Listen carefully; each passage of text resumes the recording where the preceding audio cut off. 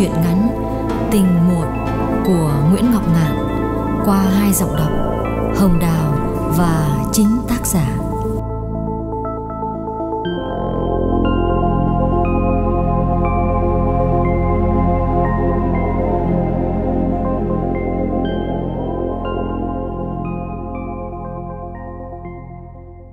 Ra khỏi văn phòng luật sư, Ông bài dìu vợ bước lại dưới tàn cây phong cổ thụ bên lề đường Hồi hộp mở tấm ngân phiếu, Dơ ra dưới ánh nắng. Chố mắt nhìn cho kỹ một lần nữa, Những con số màu đỏ in đậm nét, Ghi món tiền bồi thường tai nạn Mà hai vợ chồng kiên nhẫn đeo đuổi Từ cả hai năm nay.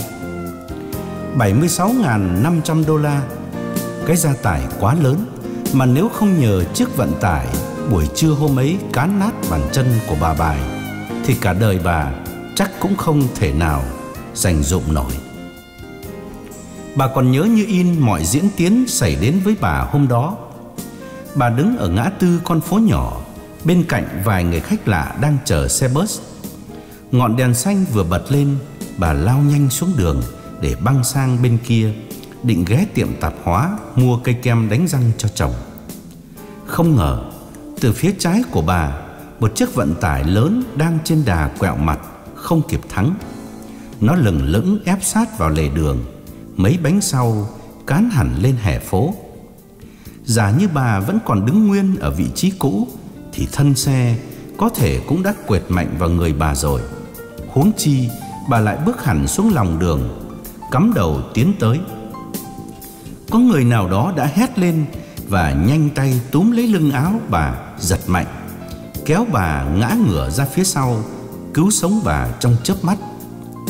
Tuy vậy, hai bánh sau của chiếc xe vận tải vẫn tàn nhẫn nghiến lên một bàn chân của bà và từ đó để lại dấu tích tàn phế cho đến hết đời. Những cơn đau nhức buổi đầu rồi cũng qua đi, những bước chập choạng nương nhờ cây gậy gỗ bọc nhôm sau gần 2 năm cũng quen dần. Ngay hôm tai nạn xảy ra, người ta đã khuyên bà tìm một luật sư chuyên môn để nhờ lập thủ tục bồi thường. Hai vợ chồng mừng lắm. Tưởng xe phải cán chết mới được đền tiền. Hóa ra chỉ cần gãy có một chân. Nhưng mừng rồi thì lại lo ngay, bởi cả hai không nói được câu tiếng Anh nào dù đã sống ở Canada đến hơn 5 năm. Ba đứa con gái đều ra riêng từ lâu, ít khi ngó ngàng tới bố mẹ. Ông bài điện thoại cho Diễm, cô con gái đầu lòng mà ông cho là khôn ngoan nhất nhà để hỏi ý kiến. Diễm hứng hờ bảo: "Ờ thì bố gặp đại luật sư nào chả được. Họ lo cho mình, họ lấy tiền, chứ có làm miễn phí đâu mà cứ chọt với lửa mãi." Ông bài cũng biết thế, bởi hàng xóm láng giềng đã giảng cho ông nghe cặn kẽ nhưng cái khổ là khả năng tiếng Anh của cả hai vợ chồng chỉ đạt tới mức good morning là hết cỡ. Thì làm sao trình bày nổi đầu đuôi tai nạn cho luật sư nghe? May quá có người tốt bụng chỉ cho ông văn phòng luật sư Becker có thông dịch viên nói tiếng Việt, gỡ cho hai vợ chồng cái gánh nặng đeo đẳng suốt mấy tháng trời. Hệ thống pháp luật Canada vốn được tiếng là nghiêm chỉnh ít có những tổ hợp luật sư thông đồng với các bác sĩ bất lương chuyên suối người ta đụng xe rồi chế ra đủ các chứng bệnh tâm thần để đòi hãng bảo hiểm bồi thường một cách quá đáng như bên Mỹ. Hay nói đúng hơn, sự lạm dụng tuy cũng có phần lớn trong các sắc dân thiểu số, nhưng mức độ chưa trầm trọng như Hoa Kỳ. Luật sư Baker tiếp ông bà bài lần đầu tiên trong văn phòng, đọc qua sắp hồ sơ do nhân viên phụ tá vừa hoàn tất rồi cặn kẽ giải thích. Từ khi qua Canada bà chưa đi làm ngày nào, chỉ lãnh welfare và ở nhà chính phủ. Như vậy thì điều đầu tiên là bà không thể đòi bồi thường thiệt hại về lợi tức, bởi bà không có lợi tức, mà bà chỉ có thể đòi bồi thường về thiệt hại cơ thể mà thôi. Luật tỉnh bang ấn định mức bồi thường tối đa cho những trường hợp tương tự như bà là 200.000 đồng. Nhưng dĩ nhiên hãng bảo hiểm không bao giờ trả tới con số đó. Ông Baker dừng lại để phụ tá Nguyễn Vương thông dịch cho thân chủ rồi giảng tiếp. Thủ tục đòi bồi thường sẽ trải qua hai giai đoạn. Trước hết, đại diện hãng bảo hiểm và tôi sẽ cố gắng để đạt đến một thỏa thuận mà không cần phải ra tòa. Dĩ nhiên phần tôi tôi sẽ đòi tối đa cho bà bởi tôi có 15% hoa hồng trong tổng số tiền họ bồi thường. Nhưng phần họ họ sẽ giảm xuống càng ít càng tốt. Mỗi lần họ đề nghị trả bao nhiêu, tôi sẽ hỏi ý kiến của bà. Bà có bằng lòng thì tôi mới nhận. Giai đoạn thứ hai là nếu hai bên không đạt được sự thỏa thuận thì sẽ phải kéo nhau ra nhờ tòa phân xử. Nhưng như vậy thì bà sẽ phải chờ thời gian khá lâu, thường là 2-3 năm. Nghe Nguyễn Vương dịch lại, ông bà bài nửa mừng nửa lo đưa mắt nhìn nhau chia sẻ. Một lúc khá lâu, bà bài mới lấy hết can đảm nhờ Vương hỏi một câu. Ừ, dạ thưa ông ạ. Ờ, thế theo kinh nghiệm của ông thì dạ cái cái cái chuyện xe cán tôi thế thì dạ ông đoán họ họ đền cho được bao nhiêu ạ? Luật sư Becker gật đầu đáp ngay. Khoảng từ 70 đến 100 ngàn là tối đa. Bà bài thở mạnh hớn hở cảm ơn con số ấy đã lớn quá rồi ra tòa làm gì cho lôi thôi mất thì giờ bà nở nụ cười mãn nguyện nhìn chồng gật đầu rồi vịn tay vào thành ghế đứng dậy hân hoan cúi chào luật sư và phụ tá Nguyễn Vương. Sực nhớ ra hoàn cảnh của mình đáng lẽ không bao giờ nên tỏ ra thoải mái trước mặt luật sư. Bà vội nhăn nét mặt, biểu lộ sự đau đớn thường xuyên của vết thương, đồng thời chống cây gậy, loạn quạng bước những bước thật khó khăn ra cửa. Trước lúc đến đây, Bà đã tự dặn lòng và bàn với chồng là phải đóng kịch như thế Phải gia tăng sự khổ sở lên gấp bội Để khêu gợi nỗi thương cảm của luật sư. Hy vọng từ nỗi thương cảm ấy Baker sẽ nỗ lực tranh đấu cho bà nhiều hơn.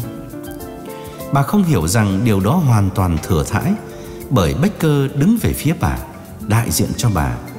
Đòi tiền cho bà chính là đòi cho cả ông ta nữa Và lại cấp độ tàn phế của bà chỉ hoàn toàn căn cứ trên các báo cáo của bác sĩ chuyên môn. Bà khóc hay cười cũng không thay đổi được gì. Bà nói nhỏ với chồng: "Này, Chúa thương vợ chồng mình, thế là yên trí rồi nha." Ông bài gạt đi. Đã cầm tiền trong tay đâu mà yên trí. Bà bài cãi: "Nhưng mà ông luật sư bảo thế thì còn lo gì nữa? Chỗ người lớn người ta lại có học nữa."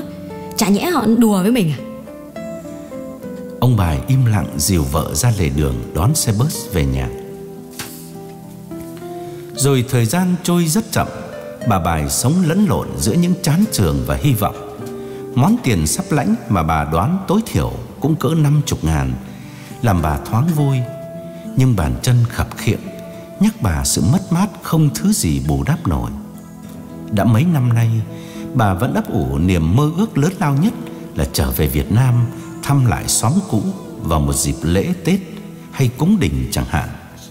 Bà sẽ quăng ra mấy trăm, góp cho làng xã để già trẻ lớn bé trong họ ngoài làng tụ tập lại, nghe các vị trưởng tộc long trọng xứng danh bà như vị ân nhân vĩ đại của toàn xã Hòa Mục Biên Hòa.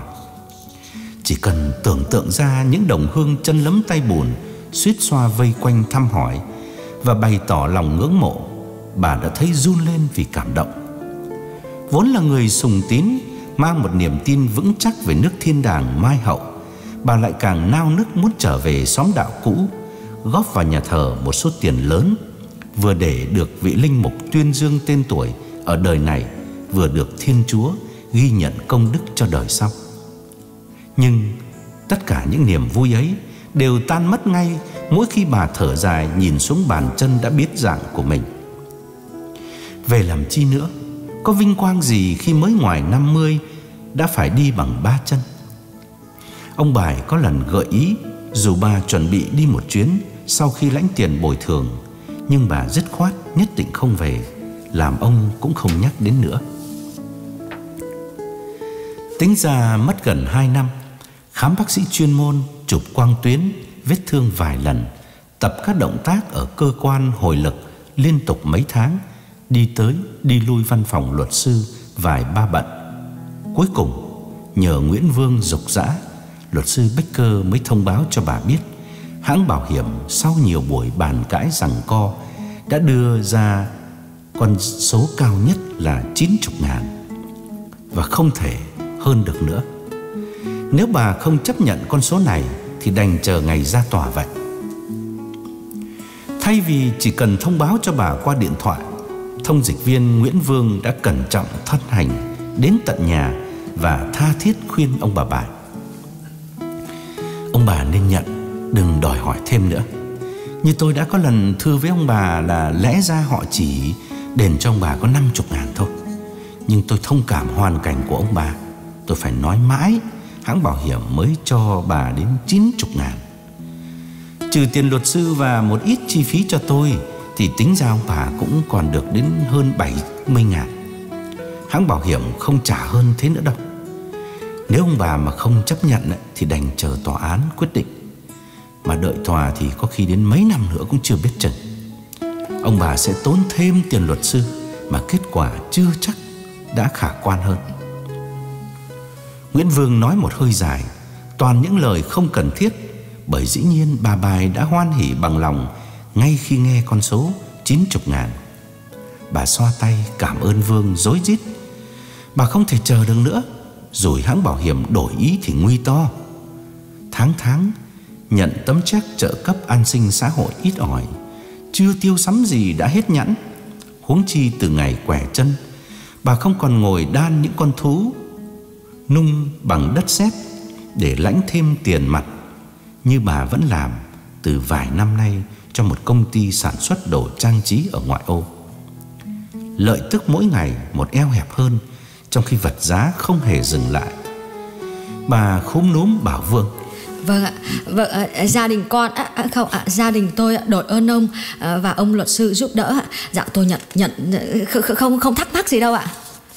Nguyễn Vương hài lòng gật đầu, rồi tỏ lượng bao dung, hạ giọng nói nhỏ hơn. Thưa bà về phần tôi, đáng lẽ mà gặp người khác tôi lấy đúng 5%, nghĩa là bà phải trả tôi 4 ngàn rưỡi.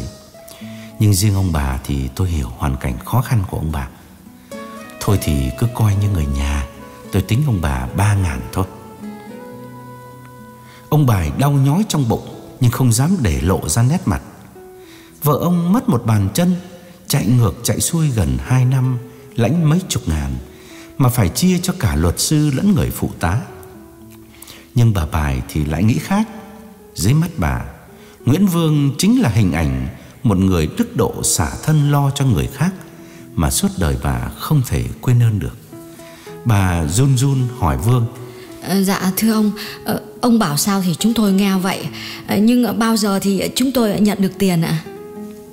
Vương vênh mặt tự tin. Ông bà bằng lòng thì tôi bảo luật sư làm check ngay, chỉ nội vài ngày là có tiền. Bà bài sốt ruột. Vâng, thế thì nhờ ông nói giúp với luật sư là chúng tôi bằng lòng ạ.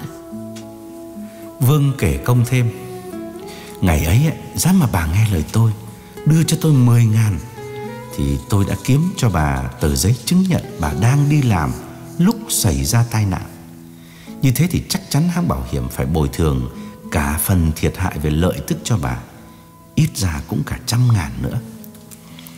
Ông bài phân bua, Cảm ơn ông có lòng chỉ bảo, Nhưng chúng tôi ừ, Ông cũng biết Chạy đâu ra 10 ngàn bạc, mà ông lại bảo là phải đưa tiền trước.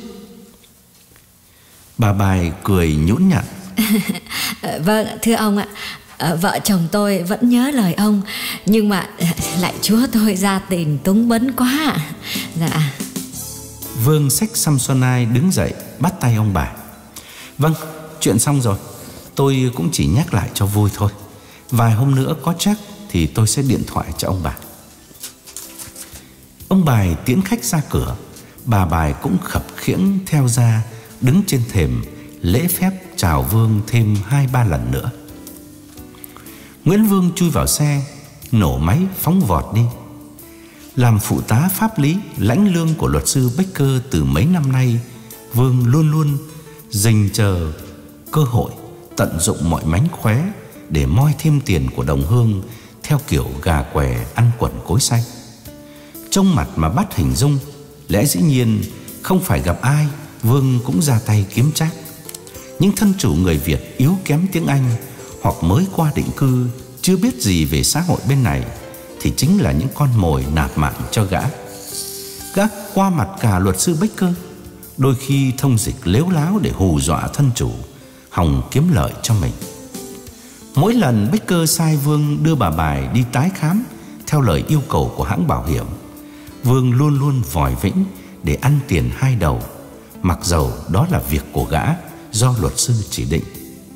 Chẳng hạn ngoài bữa ăn trưa thịnh soạn do ông bà bài khoản đãi tại một tiệm cơm tàu, Vương còn tính thêm giờ thông dịch và cẩn thận tính luôn cả tiền đậu xe bắt họ phải trả. Hôm nào rộng lượng lắm không lấy tiền mặt thì gã cũng sẽ bảo thẳng thân chủ biếu tặng gã chai rượu làm quà. Ngày trước khi còn làm thông dịch viên cho tòa án, lãnh 45 đồng một giờ do tòa trả, Vương cũng vẫn gỡ gạc ăn tiền hai đầu để đong cho đầy cái túi tham không đáy của gã.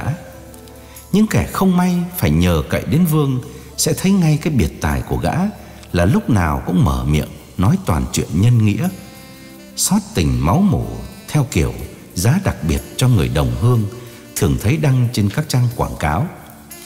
Nhìn bà bài khập khiễng bước tới bước lui trong căn nhà chính phủ. Nghèo nàn như vậy mà gã vẫn thản nhiên đòi món tiền bất chính ba ngàn đồng thì quả xứng là kẻ đảm lược hơn đời. Ba hôm sau, Vương điện thoại gọi ông bà bài đến văn phòng nhận check. Thực tâm thì gã định một mình mang tấm chi phiếu đến nhà ông bà bài để dễ nói chuyện. Nhưng luật sư Becker luôn luôn muốn đích thân trao tiền cho thân chủ tại văn phòng của mình. Cho nên Vương đành phải miễn cưỡng mời ông bà bài tới. Luật sư Becker bắt Vương cắt nghĩa rõ với thân chủ là chi phí luật sư đã trừ đi rồi.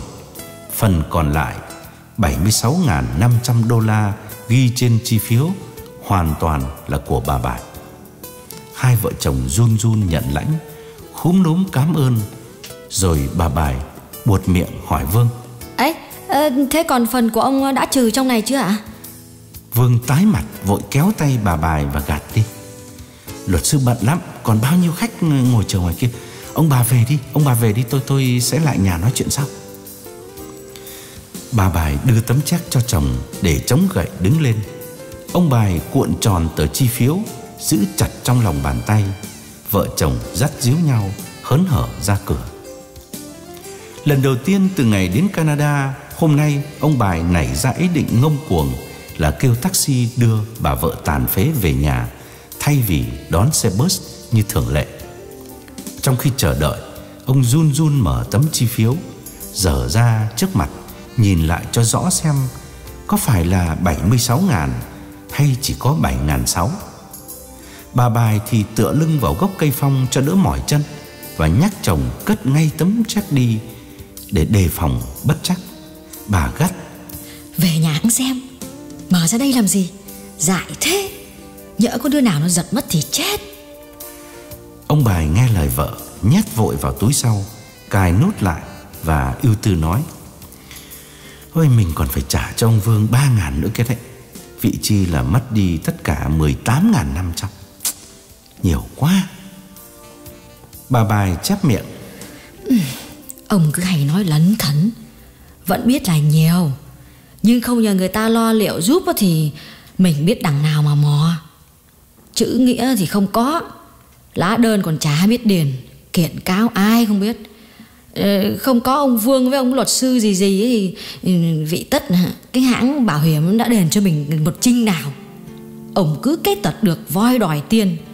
Cái hôm đấy mà cái xe vận tải mà nó hút vào tôi mà giá mà nó bỏ chạy thì cũng đành chịu chứ biết kêu ai bây giờ.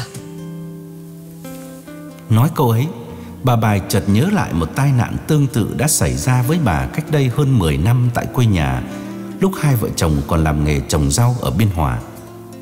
Hôm ấy, bà gánh rau ra chợ, Đi cặp sát lề đường.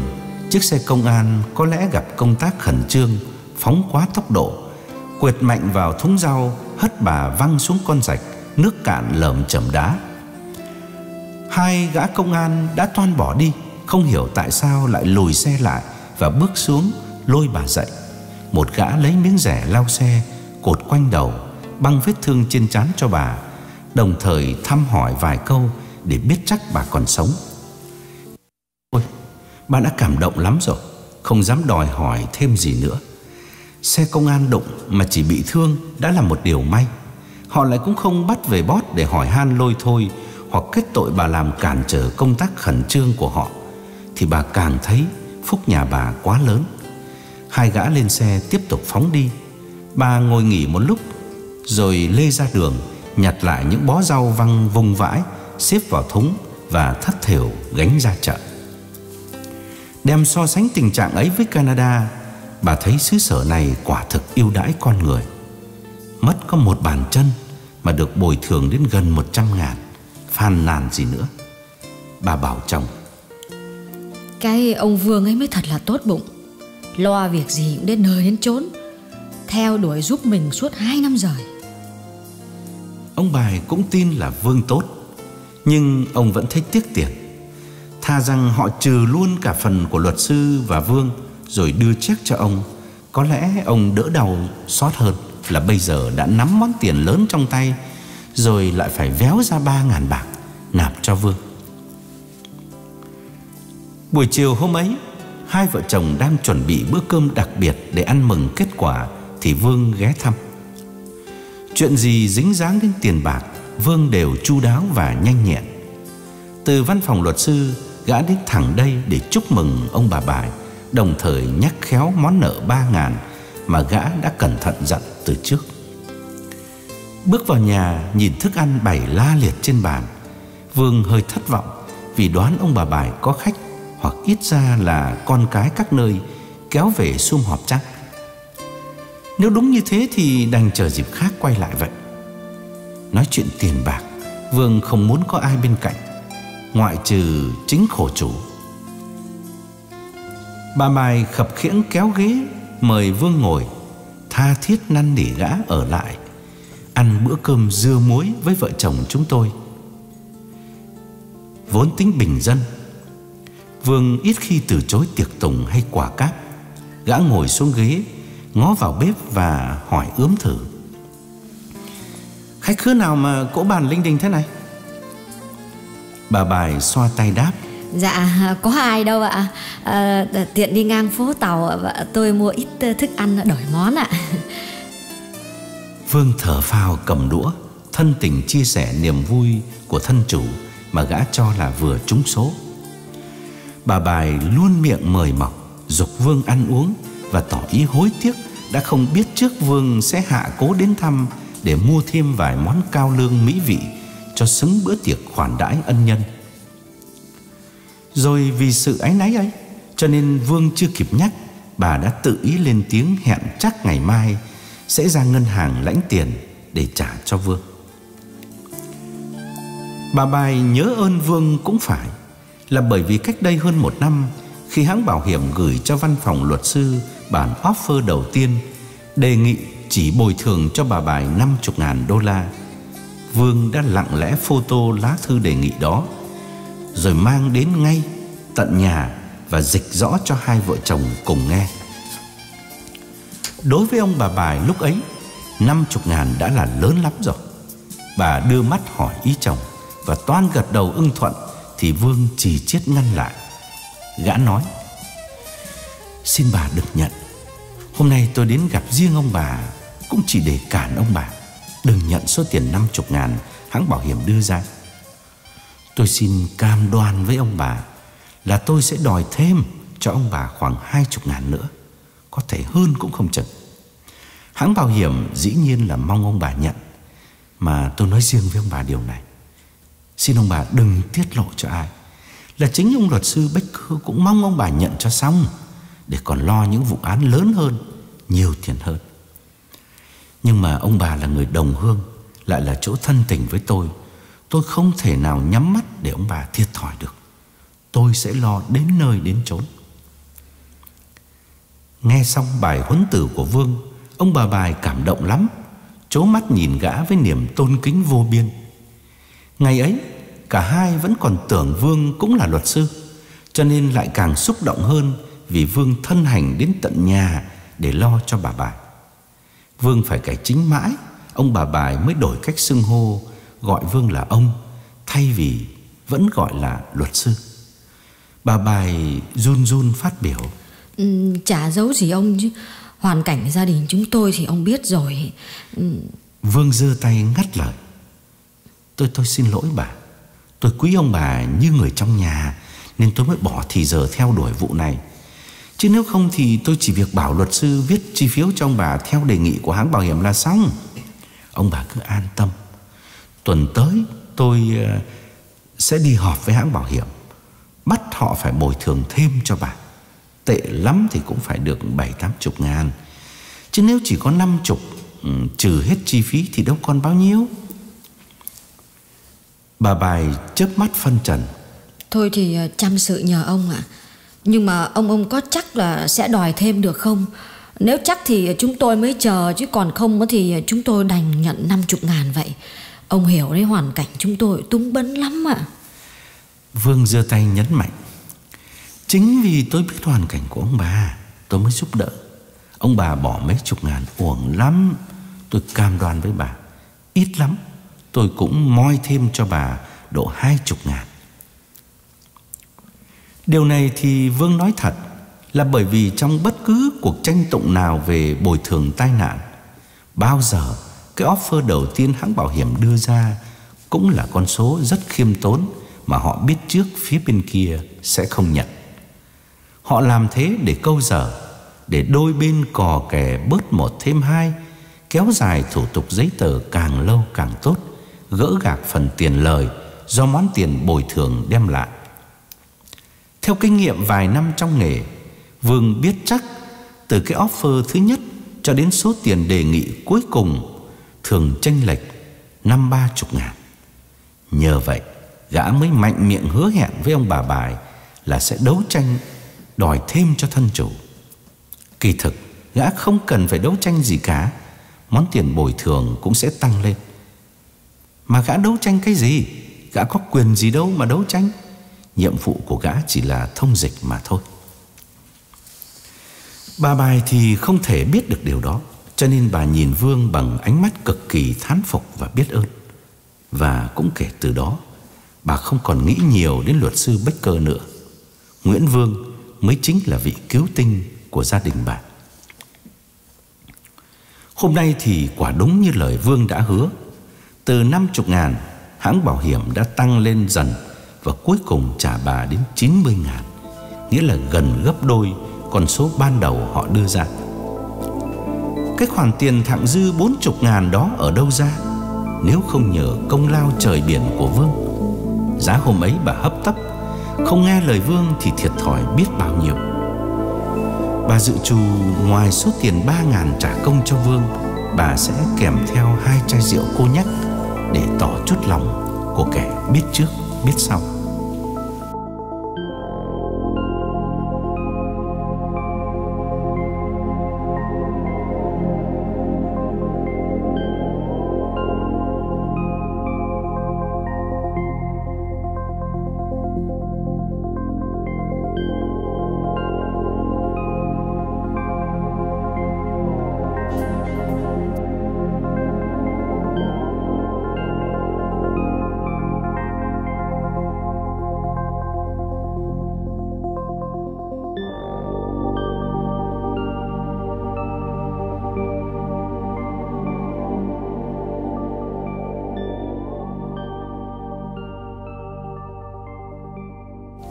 Bữa tiệc Trời đã tối hẳn. Vương tránh choáng đứng dậy ra cửa. Bà bài chống gậy chạy theo khẩn khoản nói. Ừ, Xin ông đừng cho ai biết là à, tôi vừa lãnh tiền bảo hiểm ạ. Dù đang ngà ngà say Vương cũng đủ tỉnh táo để nghiêm nghị đáp. Xin bà an tâm điều đó. Chính tôi Tôi cũng định dặn bà là đừng cho ai biết. Bởi vì tôi tính giá bà đặc biệt. Chỉ có 3.000 đồng tiền lệ phí Người khác mà biết tôi tính bà rẻ như vậy Thì tôi lại sợ người ta phân bì. Thực ra đây chính là mối lo gan ruột của Vương. Đến tai luật sư Becker thì gã khó sống. Gã ngừng lại một chút rồi giải thích thêm. Ừ, Tốt hơn hết là bà đừng nhắc gì đến tôi cả. Tính tôi thì bà biết rồi. Cứ hay thương người. Thành ra đôi khi bị các văn phòng luật sư khác trách là tôi phá giá Lấy rẻ quá. Bà bài gật đầu lia lịa Và cảm ơn Vương hai ba lần nữa. Bà đứng vịn tay vào cánh cửa, Chờ chiếc xe của Vương lao hẳn ra đường, Mới lạng quạng quay vào, Phụ chồng dọn dẹp. Buổi tối, Hai người ngồi bên nhau trên chiếc sofa, Phủ tấm vải xanh đã hẳn lên nhiều mảng thâm đen Vì lâu ngày không giặt. Bộ salon thật ra đã quá cũ. Nhưng do thói quen hà tiện của chủ nhân, Quanh năm nó vẫn được che một lớp vải dày để chống bụi. Ông bài trầm ngâm im lặng, Có lúc quên cả sự hiện diện của bà vợ bên cạnh. Cái tivi lại nhải hò hét trước mặt, Ông nhìn chừng chừng nhưng không để ý. Đời người thật chả có lúc nào được thành thơi. Họa may là khi xuôi tay nhắm mắt. Năm năm nay Vợ chồng ông sống hoàn toàn bằng trợ cấp xã hội. Sổ tiết kiệm ngân hàng Không bao giờ lên quá con số 300 Chút ít tiền mặt bà bài kiếm được Thì chia vụn ra, Nhét dưới gầm giường hoặc sau cánh tủ Trợ cấp an sinh xã hội là quyền lợi chính đáng dành cho người nghèo. Nhưng hôm nay vợ chồng ông không còn nghèo nữa, Bởi vì vừa ôm về đến gần 100 ngàn. Dù rằng đó là món tiền bất đắc dĩ Đổi cả một bàn chân của bà bại. Cái vốn khổng lồ mới mẻ này Làm nảy sinh trong đầu ông bài một câu hỏi sinh tử Là gửi món tiền bảo hiểm ở đâu Để vừa an toàn Vừa để sở xã hội không biết Bởi ông chưa muốn giã từ welfare Kiến thức về xã hội bên này Ông hiểu rất hạn chế Cái đúng, cái sai nhưng có một điều ông biết chắc Là chính phủ sẽ cắt trợ cấp Nếu khám phá ra ông có tiền. Gửi ngân hàng thì ông không để đứng tên ông được, Mà giấu tiền ở nhà thì vừa nguy hiểm, Vừa không có lợi. Dù trộm cắp hoặc cháy nhà thì trắng tay. Chơi hụi vào thời buổi này thì lại càng không nên. Chỉ nội mối lo nơm nớp sẽ bị giặt, Cũng đủ loét bao tử. Đúng là bài toán nát óc Lần đầu tiên ông phải đối phó trong đời. Bà bài khom người rót tách trà hoa nhài pha đậm Bưng lên trao cho chồng Và dè dặt hỏi. Ông đã báo tin ờ, cho con Diễm nó biết chưa? Ông bài buồn bã thở dài. Hmm thì chắc cũng đành phải nhờ nó đứng tên gửi nhà băng Chứ giao cho ai bây giờ Mắt bà bài thoáng vui. Ngay từ lúc nhận tấm ngân phiếu ở văn phòng luật sư, Bà đã nghĩ ngay đến Diễm, Đứa con gái đầu lòng Mà bà có ý định dúi riêng cho nó 10 ngàn. Nhưng bà chưa dám nói ra Vì biết chồng có thể nổi giận. Bà định chờ một dịp nào thuận tiện Khi chồng vui vẻ, Bà mới gợi chuyện và thuyết phục. Bây giờ, nghe ông bài dự tính nhờ Diễm đứng tên, Bà đồng tình ủng hộ ngay. Bà dịu dàng nói. Chả ai bằng người trong nhà. Ông tính thế là phải. Còn Diễm nó kín miệng nữa. Rồi bà nhòi người Vói tay nhấc điện thoại. Để tôi bảo nó sáng mai đưa tôi với ông ra ngân hàng nhé Ông bài vội xua tay Miệng nói Khoan đã. Và lại thừa người ngồi suy nghĩ. Ông chỉ có ba cô con gái Nhưng ông vốn mất thiện cảm Với đứa con đầu lòng Tức là Diễm. Kể từ khi nó trái lời ông, Lấy thằng chồng thua nó đến gần 10 tuổi. Ngày xưa, Diễm là tay hòm chìa khóa của gia đình ông, Từ lúc còn buôn bán trong nước, Cũng như hai năm ở trại tị nạn. Sang Canada, Diễm đi làm một thời gian Rồi nghỉ việc đi học Anh văn ESL Chính ở lớp học này, Diễm gặp tiếng sét ái tình, Và mối tình đầu đến muộn ở tuổi sắp xỉ 30 Làm nàng thay đổi hẳn cuộc sống. Nàng yêu cuồng nhiệt Như để bù đắp lại quãng thời gian đã mất. Diễm nàng nặc Đòi lấy đường ngay, Mặc dù đường mới từ Việt Nam qua Theo diện đoàn tụ, Chưa có chút sự nghiệp nào. Ông bà bài lớn tiếng phản đối. Diễm phản ứng mạnh hơn, khăn gói dọn ra, thuê nhà chung sống với người tình trẻ. Ông bà bài bàng hoàng đến cả năm trời chỉ vì trong lòng còn mang nặng lối suy nghĩ cổ điển, xấu hổ với mọi người bởi con mình tự ý theo trai. Giả như hai người chịu khó nhìn rộng ra một chút để quan sát xã hội chung quanh thì có thể sẽ không buồn lòng lắm, bởi vì ở tuổi này Diễm mới dọn ra, tức là theo trai hơi muộn so với nhiều cô gái khác. Nỗi khổ ấy vừa nguôi ngoai thì lại đến cô thứ hai, 24 tuổi, tự dưng bỏ nhà dọn sang tỉnh khác lập nghiệp, không cho ông bà bài biết địa chỉ để liên lạc. Cô đi đến hơn nửa năm, gia đình mới khám phá ra con mình chung sống với một người đàn ông lớn tuổi, có vợ con còn kẹt lại bên Việt Nam. Nhà này hết phúc rồi. Ông bài thường não nuột kêu lên và sụt sùi bảo vợ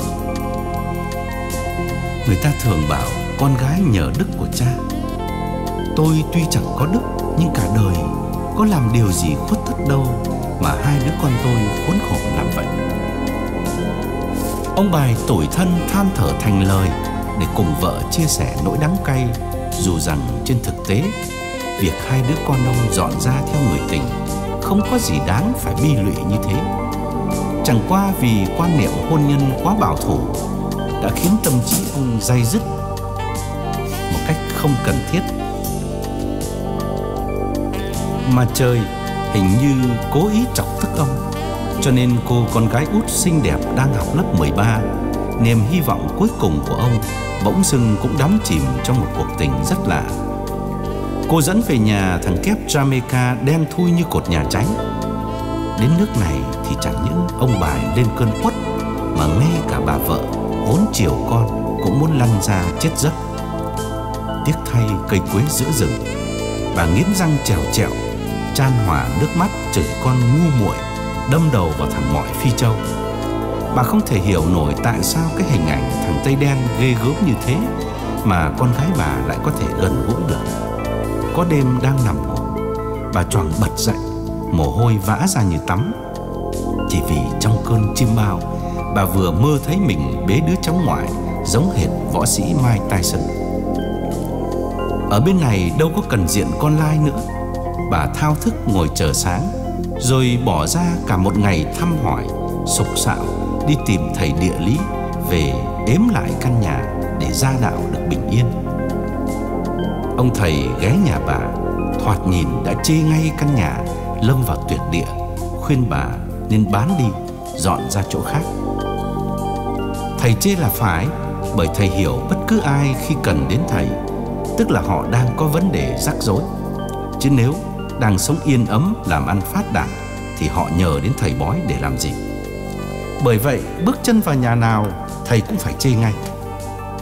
Chỉ tiếc là Bà bài không thể vâng lời thầy để bán nhà được Bởi đây là nhà của chính phủ Ai cho bà bán? Thầy hơi ngượng Nhưng tự chấn tĩnh ngay ngắm nghía thêm một hồi rồi đổi ý, bảo bà không cần dọn đi đâu cả, vì thầy thừa khả năng xoay chuyển vận số. Chuyện dị đoan đôi khi lại xảy ra trùng hợp, khiến bà bài hết lời ca ngợi môn phong thủy cổ truyền. Chẳng biết có phải nhờ sức mạnh huyền bí của tấm gương tròn mà thầy địa lý bắt bà gắn ở trước cửa ra vào hay không? Mà tự dưng đứa con gái bà từ giã thằng Tây Đen quay về với dân tộc. Và đúng cái khoảng thời gian bà bị xe vận tải cán là lúc cô út vừa lao vào một cuộc tình mới. Ngữ, người yêu thứ hai của cô cũng chả có gì nổi bật để bà hãnh diện. Nhưng bà không dám đòi hỏi hơn bởi chỉ nổi việc đứa con vừa thoát khỏi vòng tay đen đủi của gã Jamaica đã là điều hạnh phúc lắm rồi. Thậm chí gốc gác ngữ ra sao làm ăn gì, học hành tới đâu, bà cũng không dám hỏi, sợ con gái phật ý. Nhân lúc thấy con vui, bà mới gợi chuyện. Này, ờ, thằng ngữ non cũng hiền lành ấy, con xem ý nó thế nào, ừ, có tính chuyện lâu dài hay không? Cô con gái lắc đầu ngay.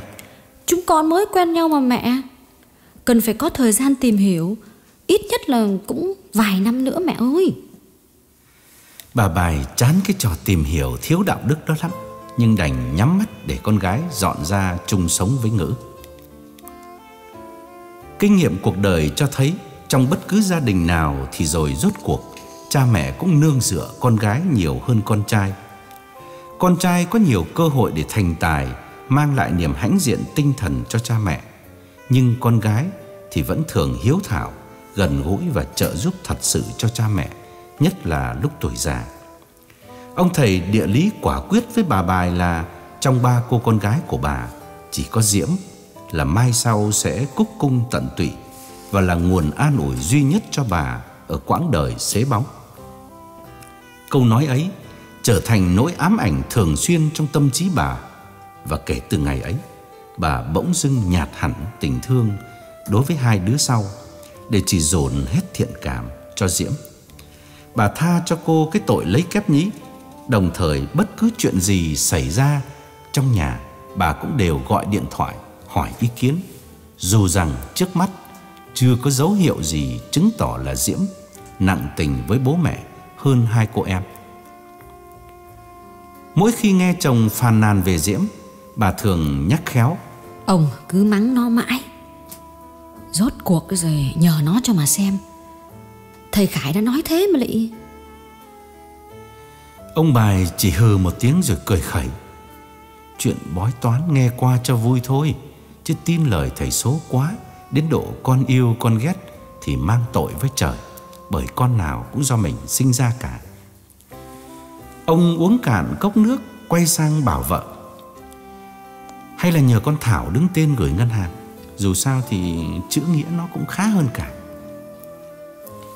Bà bài cũng biết cô út vừa ghi tên lên đại học, Nghĩa là hơn hẳn Diễm và Hạnh về tiếng Anh. Nhưng thầy bói đã dặn rồi chỉ có Diễm là tay hòm chìa khóa mà thôi. Bà kiếm cớ gạt đi. Thì nhờ đứa nào trả được. Nhưng tôi đã nói với ông là Chỉ có con Diễm nó kín mồm kín miệng thôi. Cái Thảo thì nó trẻ người non dạ Lắm bạn lắm bè. Lỡ ra mà nó hở ra cho người ngoài biết mình có tiền thì Đến tai cái sở gì Cái gì gì xã hội xã hiếc thì khốn. Ông bài thuận tay ngồi yên Bà bài nhìn chồng rồi vói tay nhấc ống điện thoại. Trước khi quay số Bà dịu dàng hỏi ý chồng. Này ờ, Thế tôi, ờ, tôi cho con Diễm 5 nghìn Được không? Thực tâm thì bà định cho Diễm 10 ngàn Nhưng sợ ông bài Nên nói giảm xuống một nửa. Phần ông bài đã toan phản đối Nhưng chợt nhìn xuống bàn chân của vợ Ông bùi ngồi thở dài.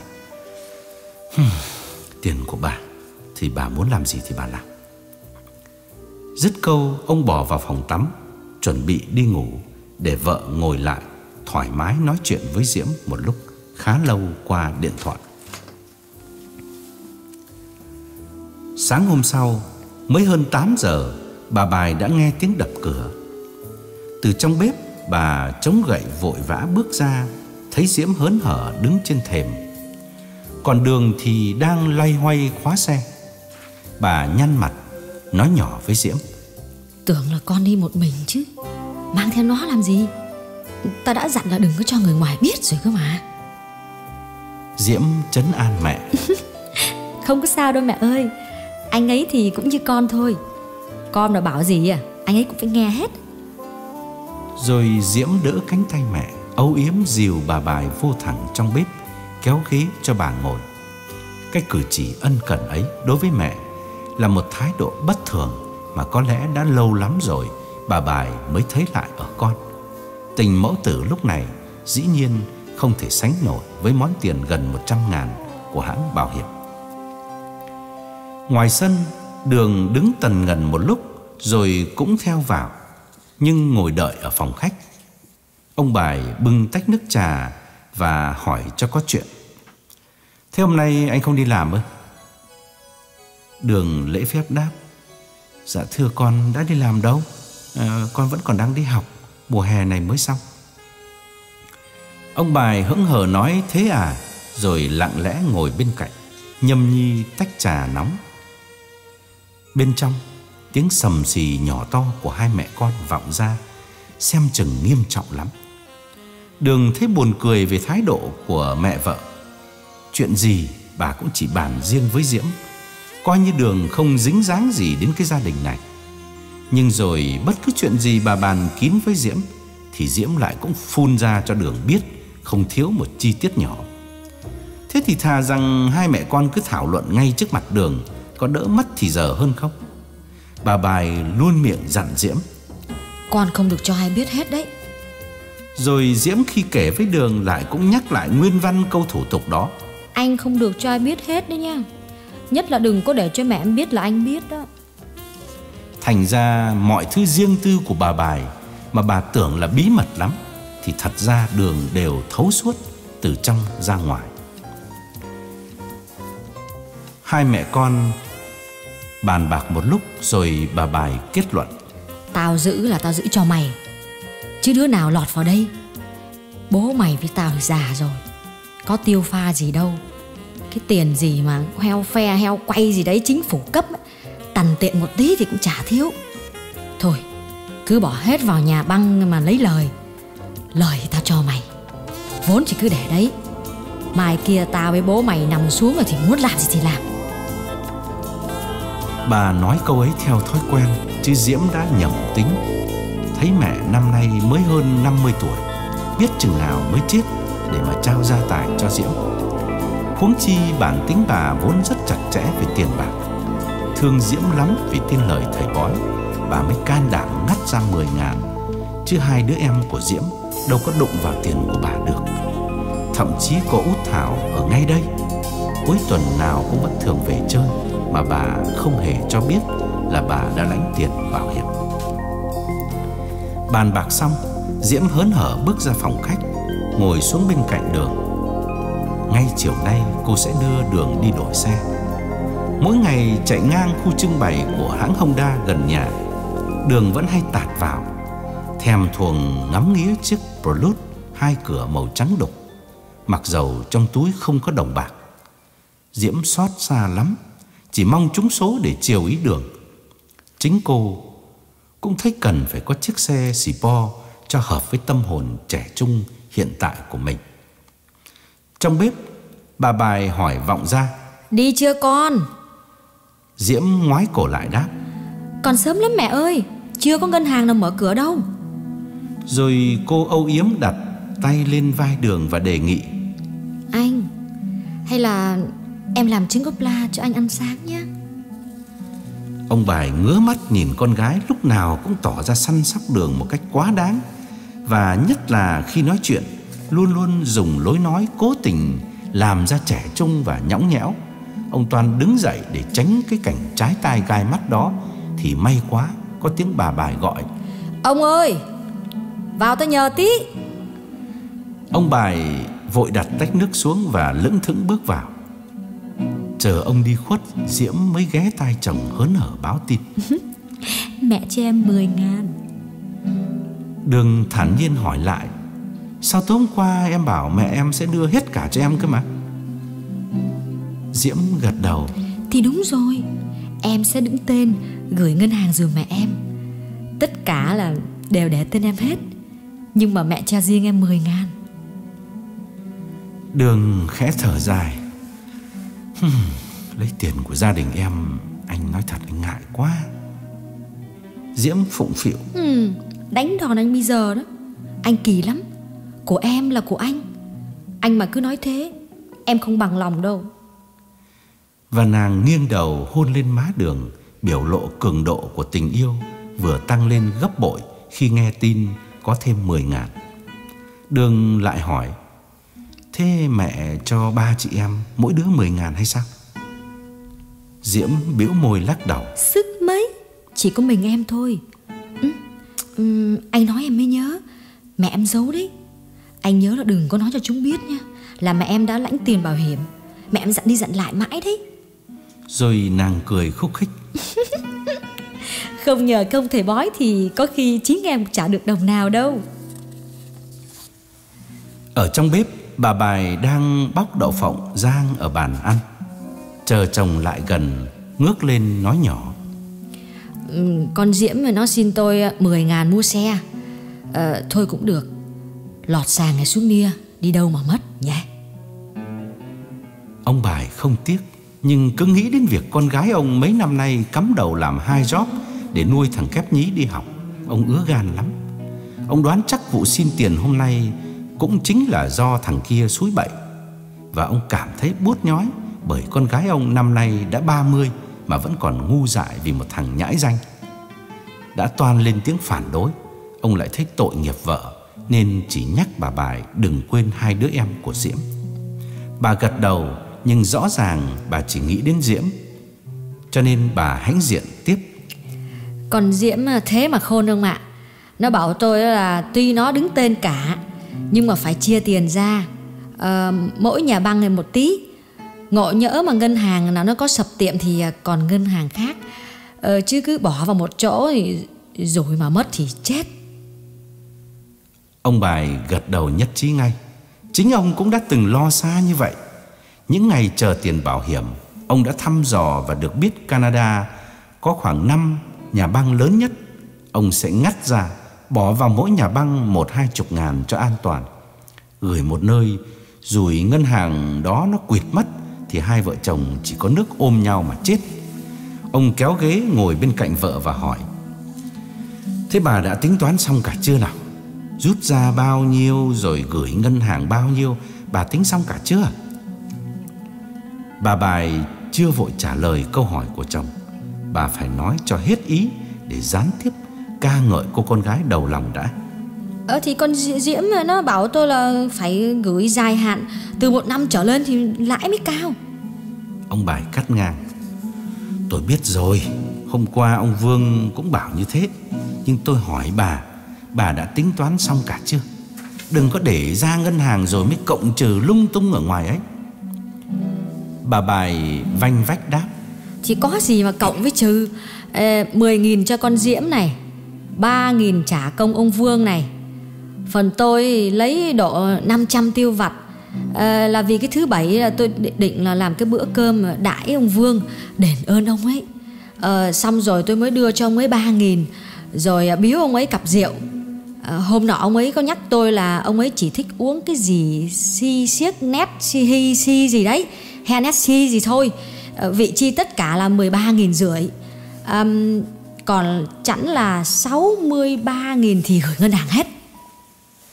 Nói dứt câu, bà bài ngước nhìn đồng hồ trên tường, Thấy đã hơn 9 giờ. Bà vội đứng dậy, Rửa tay và dục chồng thay quần áo Để kéo cả nhà ra ngân hàng, Mở đầu một ngày trọng đại nhất trong đời bà. Thời gian lặng lẽ trôi qua, Vết thương ở chân bà bài đã thành cố tật vĩnh viễn. Nhưng lâu dần cũng quen đi. Ngày ngày bà khập khiễng vào ra, Cuộc sống chắt chiu trở lại như cũ, Chẳng có gì thay đổi. Tuy vậy, Bà có niềm vui ấp ủ thường xuyên trong lòng Là biết mình có số vốn lớn Nằm an toàn ở nhà băng, Dù rằng chưa biết lúc nào bà mới đụng tới. Lâu lâu có lúc cao hứng Bà lôi mấy mảnh giấy biên nhận Gửi tiền định kỳ mà Diễm đã cẩn thận photo cho bà một bản Để bà an tâm. Bà ngắm nghía những con số trên đó, Lòng lâng lâng với niềm hạnh phúc, Quên hẳn cả bàn chân đã tàn phế. Bà hoan hỉ bảo chồng. Ông còn nhớ cái dạo đi gửi tiền ở ngân hàng không? Họ cắt nghĩa là ừ, nếu như mà mình gửi dài hạn, theo lãi suất kép họ trả mình 8% thì 8 năm sau một sẽ thành hai. Mình có 63.000 8 năm nữa uh, sẽ thành là 126.000 này tôi tính rồi. Chừng đó ừ, thì ông vừa đúng tuổi lãnh tiền già của chính phủ. Mình rút ra một nửa về Việt Nam xây nhà lầu ông ạ. Trả đâu bằng quê cha đất tổ nhé. Yeah. Ông bài không đáp Nhưng khẽ gật đầu đồng ý. Ông cũng đã nghĩ đến điều đó. Một căn nhà gạch ở Đà Lạt, Hai vợ chồng thoải mái sống những ngày cuối đời trên quê hương. Đó là giấc mộng sau cùng Của một đời vất vả, Xứng đáng được đền bù. Im lặng một lúc, Bà bài than, Hôm nọ à, ông Vương điện thoại, Đòi mượn là 5 nghìn, Bảo là có việc gấp, Một tháng à, sẽ trả, cả vốn lẫn lời. Nể ông ấy quá. Vì dù sao thì ông ấy cũng là ân nhân của mình. Nhưng mà con Diễm thì nó bảo là là tiền gửi dài hạn không rút ra được. Tôi cứ phải xin lỗi ông Vương mãi. Chả hiểu ông ấy có để bụng hay không. Ông bài trầm ngâm rồi tỏ ý ngạc nhiên. Kể cũng lạ đấy. Tôi tưởng ông ấy phải giàu lắm chứ nhỉ? Một năm bao nhiêu là vụ đụng xe?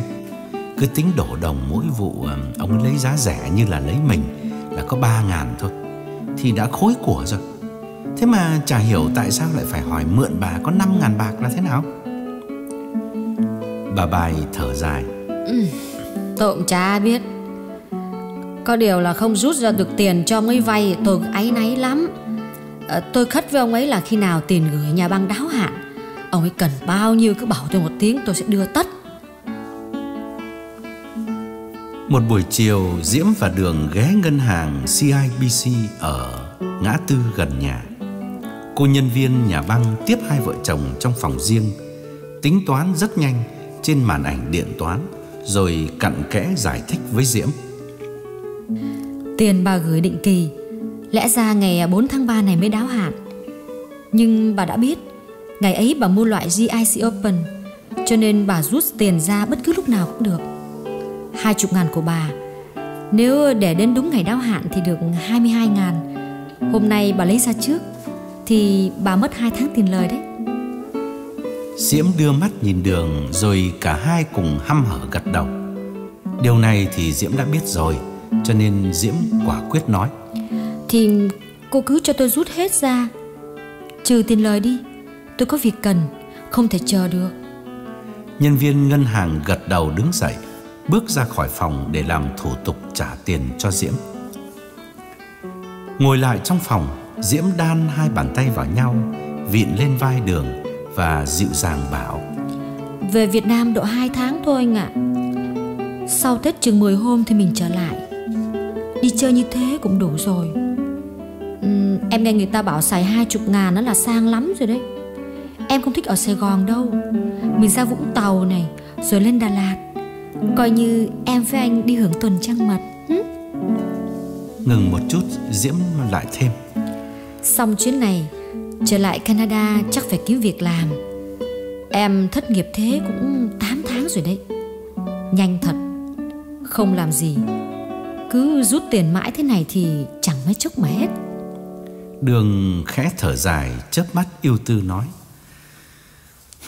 Sáu chục ngàn của mẹ em Hôm nọ em đã lấy ra hai chục Để mua xe với sắm quần áo Nữ trang rồi đồ đạc trong nhà. Bây giờ lại lấy thêm hai chục ngàn nữa. Vậy là mẹ em chỉ còn có hai chục ngàn thôi. Dối mà mẹ em biết thì chết. Diễm cười nũng nịu. Làm gì mà còn tới hai chục ngàn? Anh á, ăn gian lắm. Đánh đòn bây giờ đấy. Em hỏi anh nhá Thế 10 ngàn em rút ra cho anh đi casino. Anh thua hết sạch. Sao không kể? Hử? Hai vợ chồng cùng quay lại Nhìn nhau Mỉm cười thông cảm